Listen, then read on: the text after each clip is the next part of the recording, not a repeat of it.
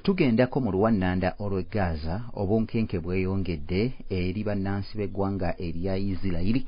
era nga abagwira baweereddwa ekiragiro okulabika nti nno balyamuka babeere nga balivaamu nga iran tennakola bulumbaganyi bwemaze okubeera nga yeewera n'okulangirira nti egenda kwesasuza.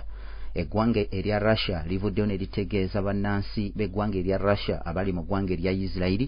okwamuka mangu eggwanga erya isirayiri ng'ekibambulya tekinnajja wabula russia evuddeyo negenda mu maaso n'okuba ng'etegeezezza ne bannansi ab'eggwanga erya lebanon abaliraanye isirayiri ate kwoteeka jordan ne babagamba nti essaawa yonna omulabe owa iran agenda genda mu maaso n'okubeera nga alumba. Amerika egenze mu maaso n'okubeera nga ewoninga abantu baayo oba erabula abantu baayo obutagenda mu ggwanga lya isirayiri era ne bagamba nti n'entambula z'ennyonyi ezimu amakampuni gaali badde gazisazaamu olw'abamerika obutagenda mu ggwanga lya isirayiri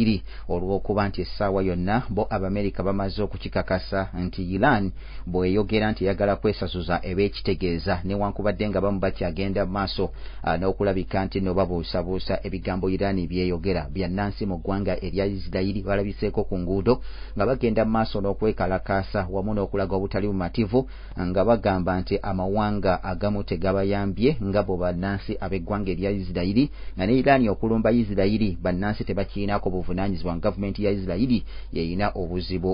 Iran not to use uh, this attack as a pretext uh, to escalate further in the region or attack U.S. facilities or pers- personnel. I'm going to be super mindful not to, to speak beyond that from here or elaborate further.